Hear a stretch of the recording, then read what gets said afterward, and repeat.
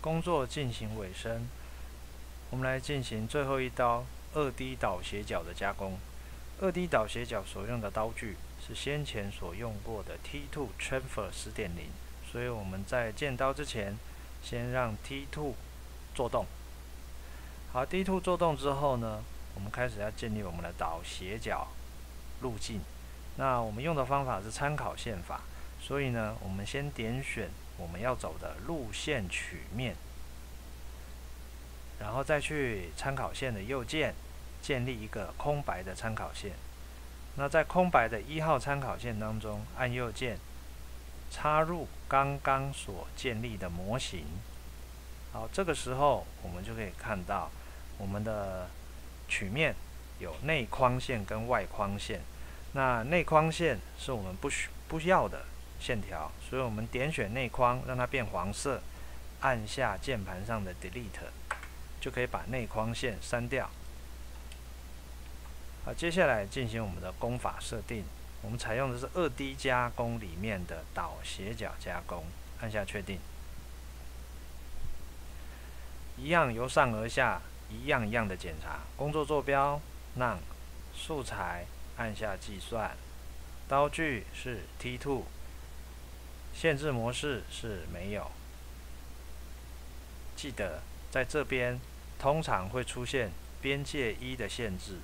如果是边界一的限制，你会做不出路径，因为在边界一的里面是没有任何办法做出倒斜角的，所以我们在边界的地方要选取 None。在倒斜角加工这边，我们使用的是一号曲线，然后位置使用的是角落设定。在修改加工部分，我们常常会应用到这一颗反向加工的按钮。为什么呢？因为我们的倒斜角预设值是走在这条路线的里面，啊，这是错误的，所以我们按一下反向加工，这时候我们的刀具就会走在倒斜角路线的外面，再按下打勾。好，公差零点零零五五缪的公差，切削方向确定是顺洗，宽度跟深度虽然在题目都指定一点零。可是我们在这边先给予零点五，以试加工的方式，慢慢的做到我们认定的一点零 C。好，刀具的位置给予二点五的切削深度计算。好，接下来走到提刀高度，提刀高度一样，在工作坐标按下 None，按下计算。进退刀与连接，我们在这边。啊，所做的设定都没有办法直接观察到成果，所以我们之后由外部修改的方式进行进退刀的设定。近几例的选单，我们给予主轴转速经验值两千转，切削近几率 F 一百五，缓降给予一百五十一，按下计算。好，这时候就可以看到，我们刀具路径是沿着我们的大刀与外侧绕一圈。那但是呢，实际在加工的时候，下刀的地方会产生明显的一个缺口。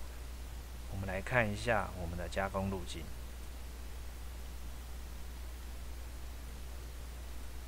好，我们可以发现它都是从这一个缺口做进去。然后最后也会从这个缺口绕出来，所以在这边会有一个明显的下切痕迹。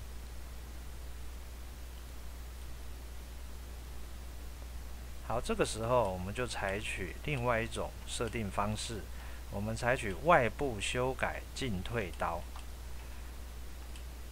好，我们点选上方工具列的进退刀与连接。